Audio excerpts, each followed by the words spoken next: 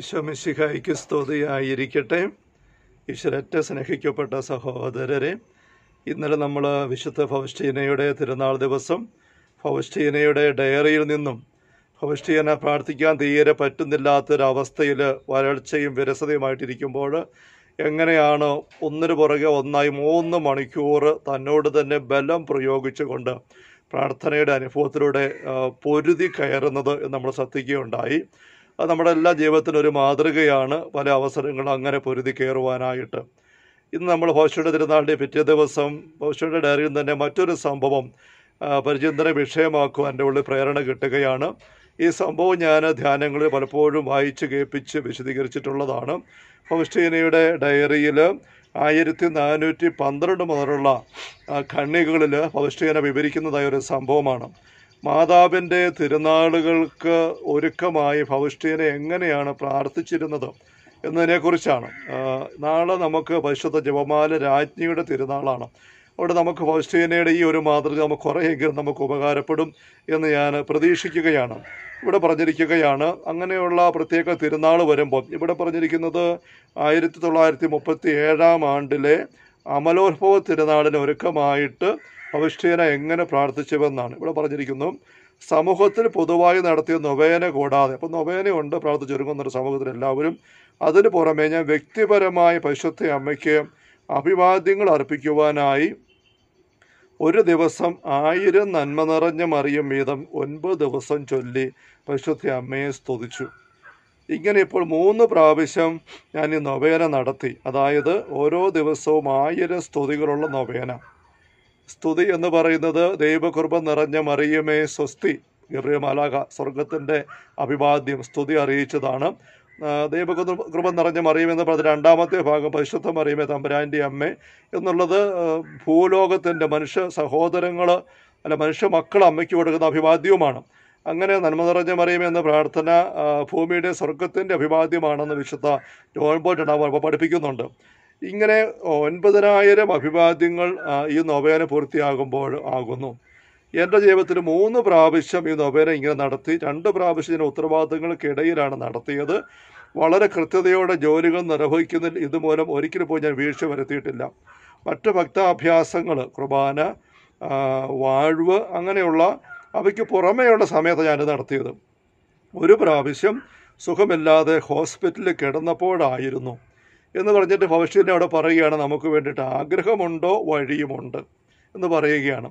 ഉല്ലാസമയം നീക്കി ബാക്കി മുഴുവൻ സമയം ഞാൻ പ്രാർത്ഥിക്കുകയോ ജോലി ചെയ്യുകയാണ് ചെയ്തിരുന്നത്. ഈ ദിവസങ്ങളിൽ അനാവശ്യമായ ഒരു വാക്കുപോലും സംസാരിച്ചിട്ടില്ല.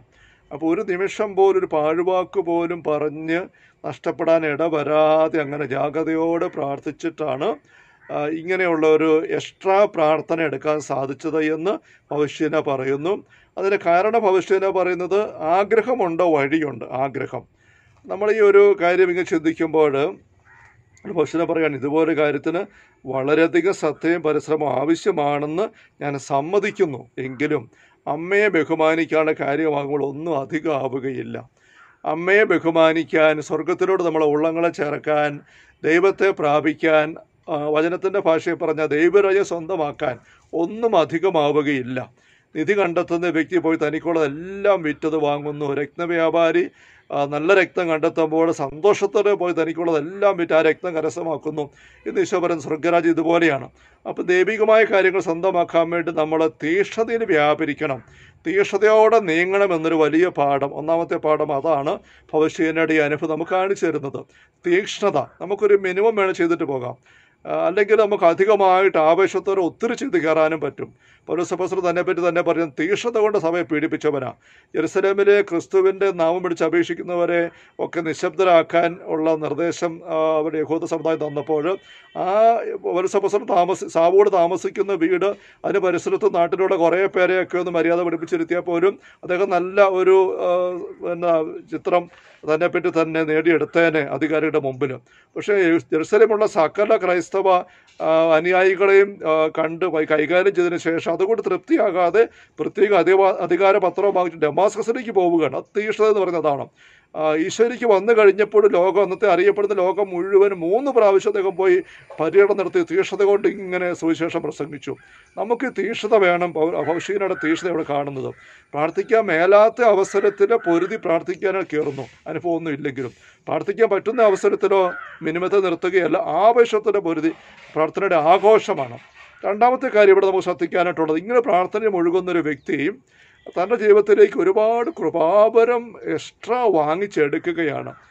മഴ പെയ്ത വെള്ളമുണ്ടായേനെന്ന് വേനൽക്കാലത്ത് പറയുമ്പോൾ ഒരു മഴ ദിവസം പെട്ടെന്നങ്ങ് പെയ്തു പോയി. പത്ത് മിനിറ്റ് വെള്ളമുണ്ടായോ ഇല്ല മഴ പെയ്ത് വെള്ളമുണ്ടാകണമെന്ന് പറയുന്നത് ശരിയാണെങ്കിലും മഴ പെയ്ത് വെള്ളം ഉണ്ടാകണമെങ്കിൽ നല്ല കനത്ത മഴ മണിക്കൂറുകൾ നിന്ന് പെയ്യണം. എങ്കിലേ വെള്ളം വരുള്ളൂ. എന്ന് പറഞ്ഞ പോലെ പ്രാർത്ഥിക്കുമ്പോൾ അനുഗ്രഹം കിട്ടുമെന്ന് പറയുന്നത് ശരിയാണ്. പക്ഷേ പ്രാർത്ഥന വഴി അനുഗ്രഹം നിറയണമെങ്കിൽ കനത്ത പ്രാർത്ഥന നിന്ന് പെയ്ത് നമ്മുടെ ജീവിതം കുതിരണം.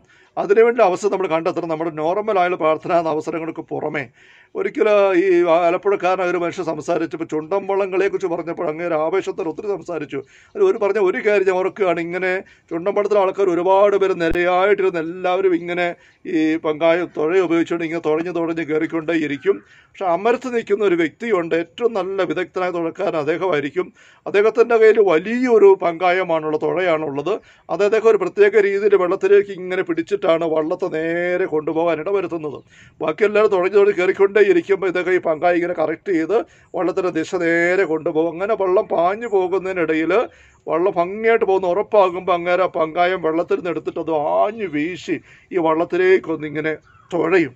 അപ്പോൾ ഈ മനുഷ്യൻ പറയുമായിരുന്നു വള്ളം ആ സമയത്ത് കുതിച്ച് മുന്നോട്ട് കയറും ഇത് ശരിയാണല്ലോ എനിക്ക് അറിഞ്ഞുകൂടാ എന്ന് പറഞ്ഞ പോലെ നമ്മൾ പ്രാർത്ഥനയുടെ ഒരു ചിട്ടയിൽ ഇങ്ങനെ മുന്നോട്ട് നീങ്ങിക്കൊണ്ടിരിക്കുമ്പോൾ അതിനിടയിൽ ഇങ്ങനെയുള്ള ചില വലിയ പങ്കായം കൊണ്ടുള്ള ഒരു ഒറ്റ തുഴച്ചിൽ നമ്മുടെ ജീവിതത്തെ ആത്മീയതയിൽ കുതിച്ചു കയറാനിട വരുത്തും അത് ഭവിഷ്യനേക്ക് അറിയാമായിരുന്നു. അപ്പോൾ ഇത് നമുക്കും ആവശ്യമാണ്. നാളെ വിശുദ്ധ ജവമാല തിരുനാളാണ്. ഇവിടെ ഒൻപത് ദിവസം ഭവിഷ്യന ചെയ്ത് നമുക്ക് ഒരു ദിവസം ചെയ്യാൻ പറ്റുമോ? നോക്കുന്നതാണ് ജവമാല മാസമാണ്.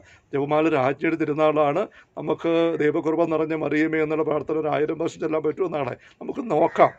വിശുദ്ധ ഭവിഷ്ഠയനയെ അങ്ങയുടെ വലിയ തീക്ഷ്ണത ഞങ്ങൾ ശ്രദ്ധിക്കുന്നു.